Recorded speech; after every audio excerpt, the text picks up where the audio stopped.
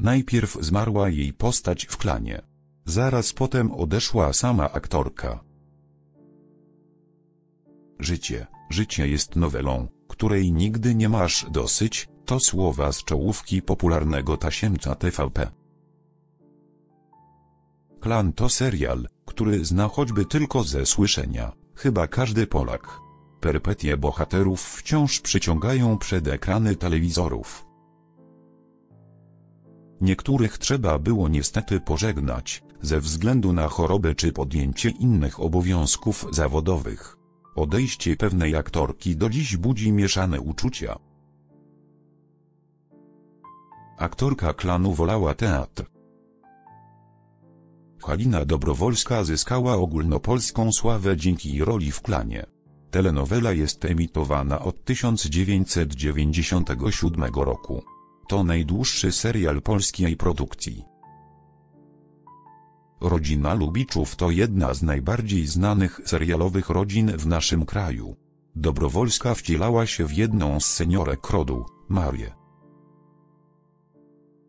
Jednakże już wcześniej była obecna zarówno na srebrnym ekranie jak i na deskach teatru.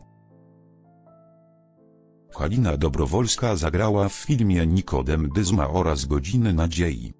Największe role, doceniane przez krytyków zagrała jednak w teatrze. Przez niemal 30 lat była związana z teatrem dramatycznym w Warszawie. Jednak to właśnie klan stał się motorem napędowym jej kariery. Twórcy od razu wiedzieli, że chcą ją w klanie.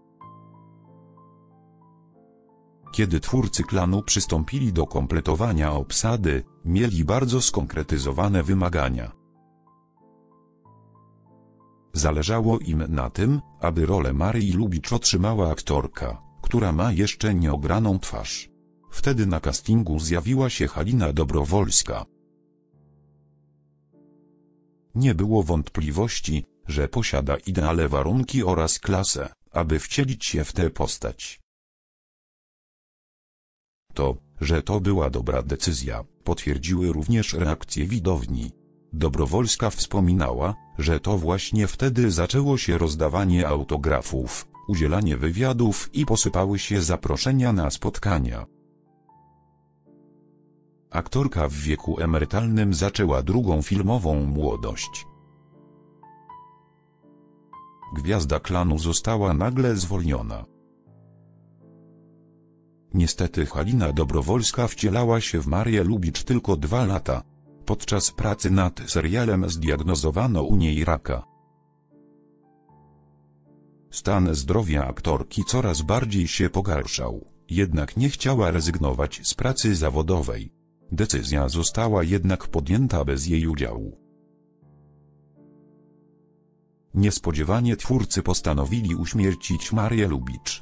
Dobrowolska pogodziła się z takim obrotem sytuacji i nie komentowała jej w mediach. Być może to był cios, z którego aktorka nie potrafiła się już podnieść. Śmierć odgrywanej przez nią postaci nastąpiła 23 czerwca 1999 roku. Kilka miesięcy po emisji tego odcinka zmarła też Halina Dobrowolska. Odeszła w wieku 69 lat po ciężkiej walce z nowotworem. Została pochowana 20 października 1999 roku na cmentarzu powązkowskim w Warszawie.